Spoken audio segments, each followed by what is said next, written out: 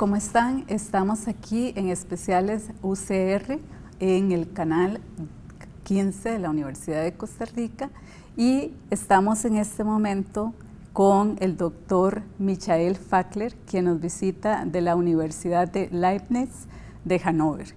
Muchas gracias, Michael, por estar aquí con nosotros. Es un gusto y un gran placer tenerlo. Sabemos que está visitando nuestro país, ¿verdad?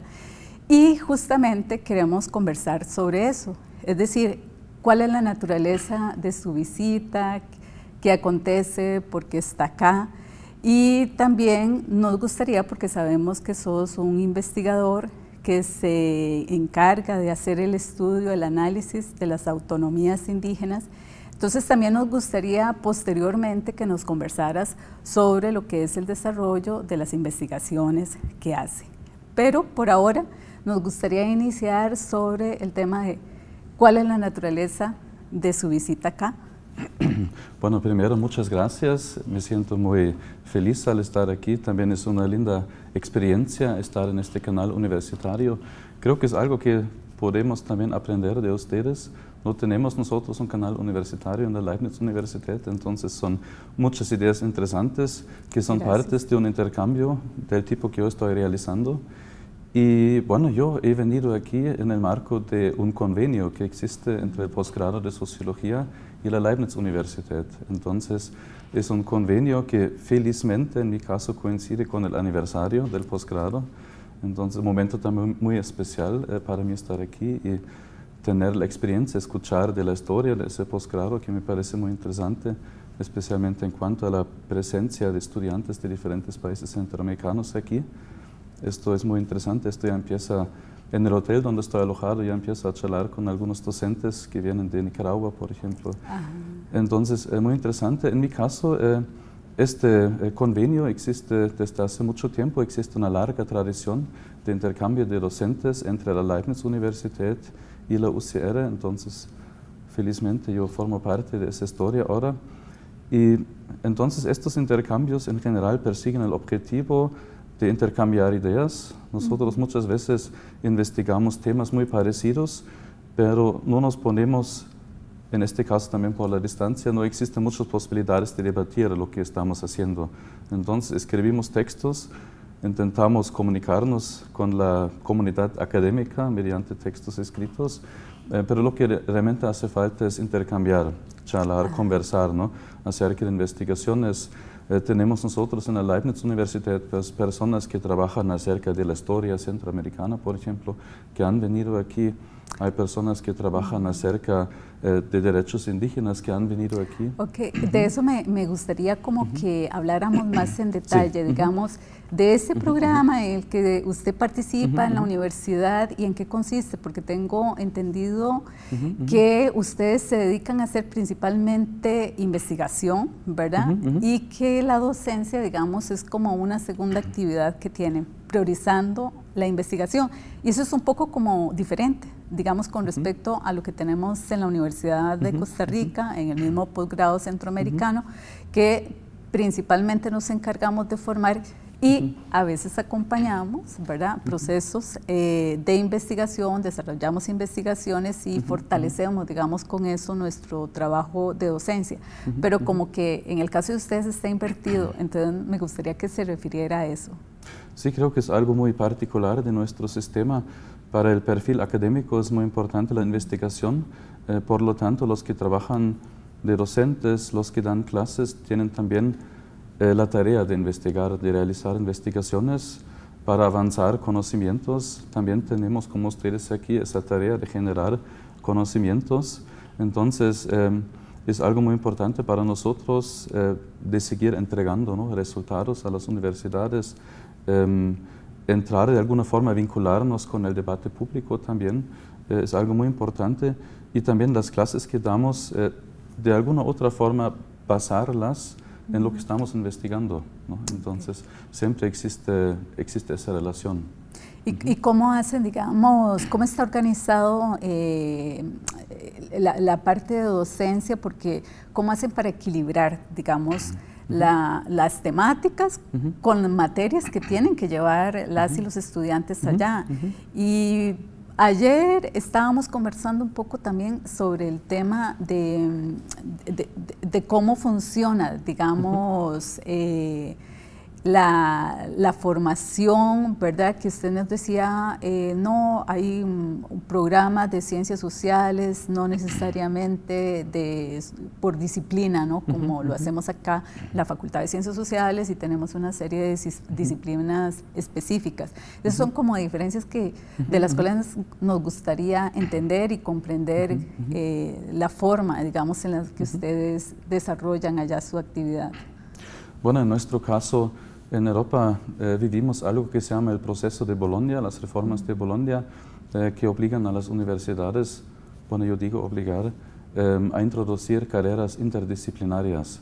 Entonces, carreras que vinculan, los institutos siguen existiendo, ¿no? El Instituto de Sociología, Ciencias Políticas, Historia, pero muchas veces ya no ofrecen una carrera de historia, por ejemplo, una carrera de sociología, sino bajo la exigencia de la interdisciplinaridad. Em, los historiadores ofrecen, por ejemplo, una carrera con eh, la sociología. Entonces tenemos estudiantes, tenemos una carrera que se llama el Master of Atlantic Studies, el Master de Estudios Atlánticos, eh, donde los estudiantes estudian eh, con nosotros en la sociología, estudian en el Instituto de Historia, entonces en la romanística también. La idea es de siempre vincular diferentes carreras. Em, también nosotros ofrecemos un bachelor en ciencias sociales, así se llama.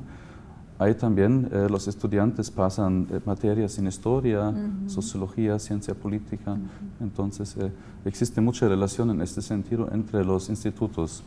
Pero desde hace poco estamos volviendo a ofrecer un máster en sociología, entonces un máster que realmente es sociología, sociología. Bueno, estamos aquí conversando con el doctor Fackler, eh, quien nos visita de la Universidad de Leibniz de Hannover. Y eh, en este momento hemos conversado sobre el tipo de trabajo que hacen y cómo forman, digamos, allá a las personas que estudian ciencias sociales. Pero posteriormente para el nuevo bloque nos gustaría retomar el tema de sus investigaciones sobre lo que usted trabaja en la universidad.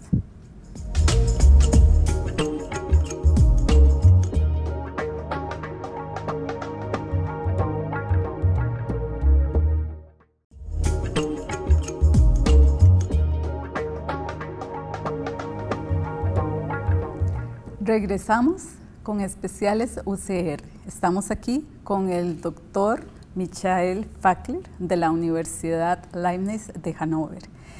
Y queremos conversar en este momento sobre lo que es su trayectoria de investigación y los temas que trata, pero sobre todo un aspecto que para nosotros tiene interés en términos de la lógica de investigación que ustedes desarrollan, que se refiera un poco, digamos, a esos contenidos teóricos y conceptuales de los cuales parte para hacer el estudio, el análisis de las autonomías indígenas, sobre el tema de los derechos indígenas, de los pueblos indígenas. Bueno, muchísimas eh, gracias. Sí, nosotros hemos realizado diferentes proyectos acerca del reconocimiento de los derechos indígenas en América Latina. Un colega se ha enfocado más en México, yo y otro colega nos hemos más enfocado en Ecuador y Bolivia. Y creo que lo que hay que subrayar es que nosotros em, pertenecemos al Instituto de Sociología, nuestro grupo de trabajo, pero somos, eh, trabajamos em, desde perspectivas antropológicas. Esto es muy importante para nosotros. Entonces, eh, lo que nosotros hacemos es investigar cómo personas construyen su mundo, ¿no es cierto? No como otros construyen el mundo de otros, sino como los sujetos mismos construyen su mundo, qué significado dan a su mundo, qué retos enfrentan. Entonces, lo que observamos, y son siempre puntos de partida muy importantes para nosotros. Por un lado, muchos discursos ¿no? que vemos, discursos políticos, discursos también académicos incluso, ¿no? acerca, por ejemplo, de derechos indígenas, donde se reproducen ciertos, ciertas imágenes de lo que significa ser indígena, de lo que es una comunidad indígena, de lo que es un pueblo indígena también.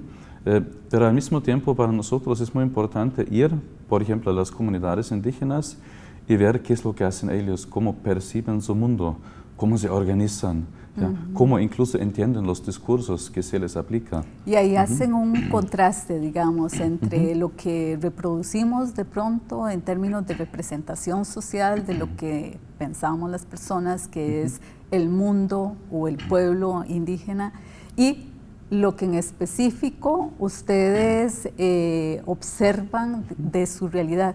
Y ahí han encontrado diferencias, digamos, en ese proceso de contrastación. Sí, creo que es un punto muy importante que tú estás mencionando, especialmente las muchas diferencias que uno tiene que enfrentar cuando uno investiga en comunidades indígenas, lo que hemos hecho. Todas eh, las publicaciones eh, que hemos hecho acerca de derechos indígenas se basan sustancialmente en investigación empírica. Esto es muy importante para nosotros, o sea, intentamos estar meses, medio año, más tiempo en comunidades indígenas para acompañar procesos. En mi caso fue eh, Bolivia eh, particularmente. Entonces lo que nosotros vemos es que muchos conceptos que circulan en el debate, por ejemplo, conceptos acerca de pueblos, de cultura, de tradición y de autenticidad, em, se relacionan de una forma muy complicada y a veces contradictoria con las realidades que viven las organizaciones indígenas. Eh, quisiera mencionarle algo acerca del concepto de pueblo. El concepto de pueblo, así como lo manejan las constituciones latinoamericanas, porque ese concepto está en la Constitución de México, en la de Bolivia, en la de Ecuador. En entonces, todos, en todos los países latinoamericanos. Entonces ahí está el concepto del pueblo indígena.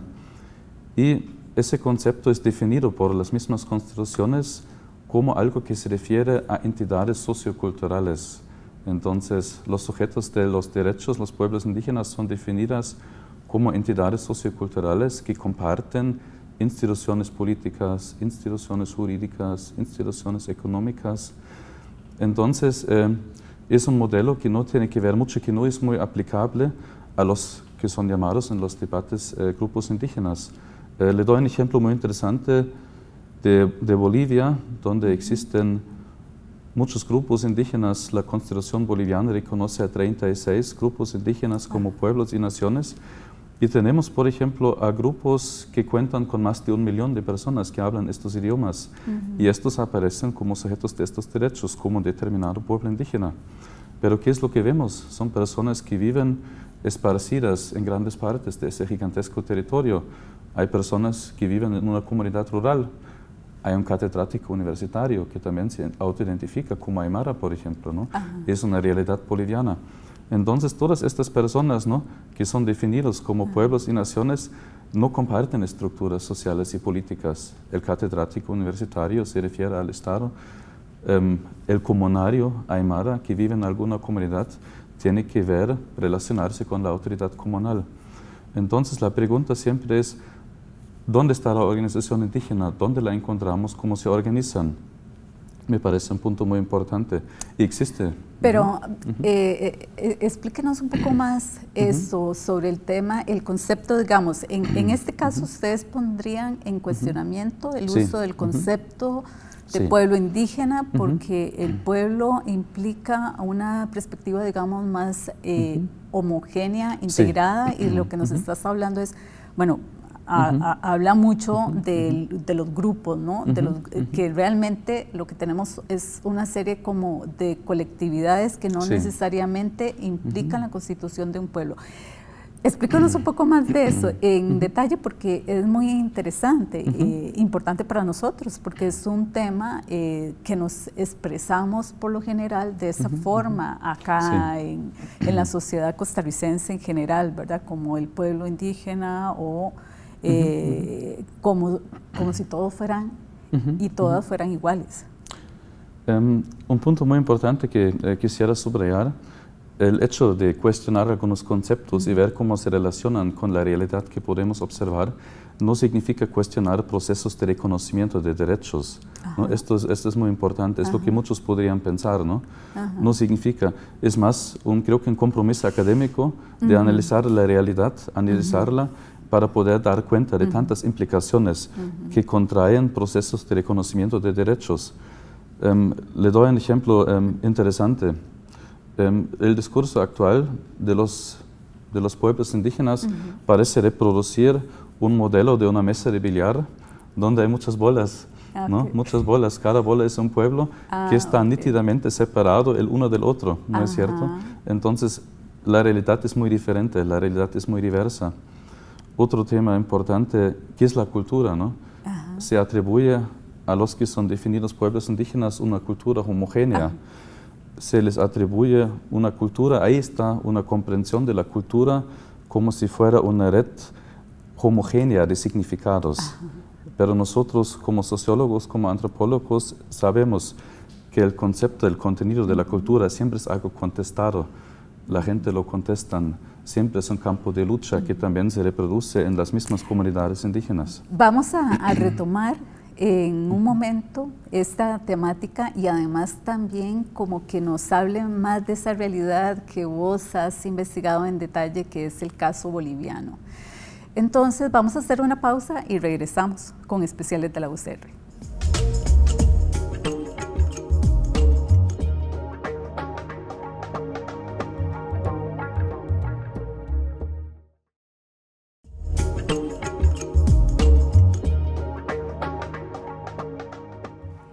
Estamos aquí en especiales UCR conversando con el doctor Fackler de la Universidad Leibniz de Hannover. Y nos estaba conversando justamente sobre las investigaciones que se han hecho sobre el tema de derechos indígenas, autonomías indígenas, y nos gustaría que nos explicara también los hallazgos y el trabajo de análisis que ha realizado en el caso de Bolivia en particular. Eh, sí, nosotros eh, nos hemos enfocado bastante en Bolivia y Ecuador.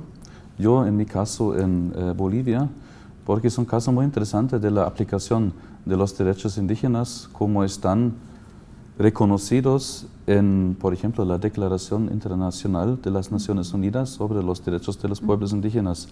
Entonces, eh, es algo que se ha reconocido bastante en el debate público, también académico, el reconocimiento que existe en la Constitución boliviana de los derechos indígenas. Muchos han dicho que está en una sintonía muy fuerte con la Declaración de las Naciones Unidas. Entonces, es una constitución que se propone refundar el Estado boliviano. No solamente añadir algunos derechos indígenas, como lo que pasó durante la época del multiculturalismo de los años 80 y 90, sino realmente refundar todo el Estado, incluso las instituciones públicas.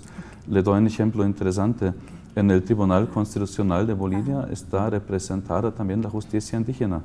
Entonces hay los representantes tradicionales de la justicia estatal, pero también hay autoridades indígenas que también em, interpretan la institución, la constitución, perdón, eh, del Estado boliviano.